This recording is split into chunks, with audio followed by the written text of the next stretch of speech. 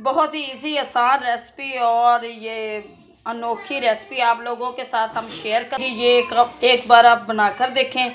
देखना आप कितना इंजॉय करते हैं। बहुत मज़े की ये रेसिपी है। आप बनाओगे और लुत्फ़ उठाओगे। चलें जी बनाते हैं अपनी वीडियो को और बताते हैं कि आज हमने कौन सी ये रेसिपी बनाई। उम्मीद है कि वीडियो को आप पूरा वॉच करेंगे। मज़े की रेसिपी है। चिकन को, बीफ को, मटन को, सबको पीछे छोड़ने वाली ये रेसिपी है। चलें जी, आए बनाएँ, आप बनाते हैं अपनी वीडियो को। प्लीज़ वीडियो को पूरा वॉच करना और देखना कि ये कौन सी रेसिपी है जो चिकन को, बीफ को, मटन को पीछे छोड़ रही है।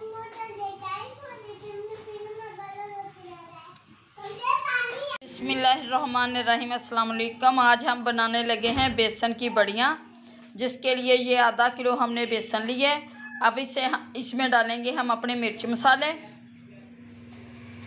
ये हम थोड़ी सी डालेंगे इसमें हल्दी, थोड़ी सी बिल्कुल कलर चेंज करने के लिए। और ये डालेंगे हम रेड चिली। ये इसकी पहले बना लेंगे ना, ये ये बेसन की बड़ियाँ। अब इसमें डालेंगे हाफ़ स्पून नमक। अब डालेंगे हम इसमें ये सब्ज़ मिर्च और धनिया। सब्ज़ मिर्च और धनिया डालेंगे। अब हम डालेंगे इसमें ज़ीरा। ज़ीरा और सूखा धनिया। ये ज़ीरा और सूखा धनिया डाल दिया हमने। कसूरी मेथी। खुशबू बहुत अच्छी आती है, कसूरी मेथी डाल दी। अब इसमें डालेंगे थोड़ा सा पानी।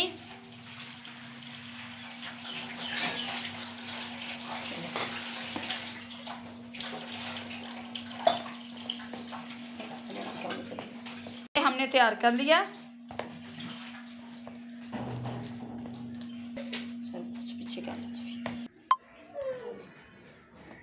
अब इस तरह से हम बना लेंगे।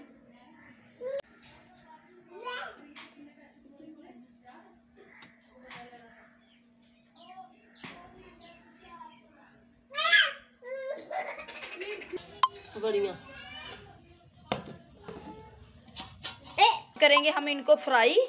इस तरह से घी में फ्राई कर लेंगे फिर हम अब डालेंगे इसमें। ये करते जाएँगे इनको फ्राई। इस तरह से। और इस तरह से बना के हम रख लेंगे सारी।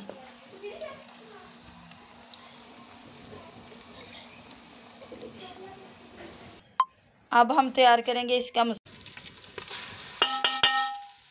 डालेंगे लहसुन अदरक का पेस्ट।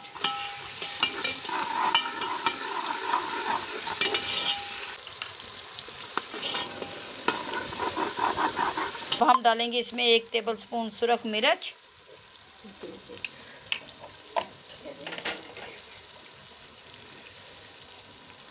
एक वन स्पून हल्दी।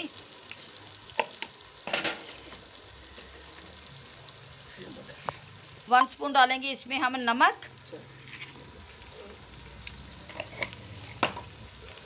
तैयार हो चुके हैं। अब हम डालेंगे इसमें अपनी बड़ियाँ जो हमने बेसन की तैयार की हैं।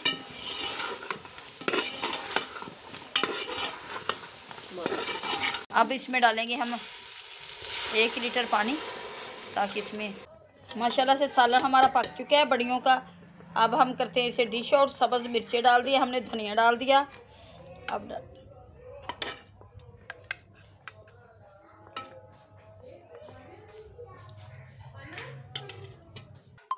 माशाल्लाह से सालन हमारा बनकर तैयार हो चुका है, जो बहुत ही लजीज, मज़ेदार टेस्टी बना है।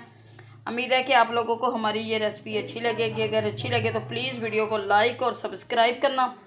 दुआओं में याद रखना, अल्लाह आप लोगों को खुश रखे, आबाद रखे, शाद रखे। अब दे हमें इजाज़त, मिलेंगे आपसे नेक्स्ट वीडियो में। अल्लाह हाफिज़।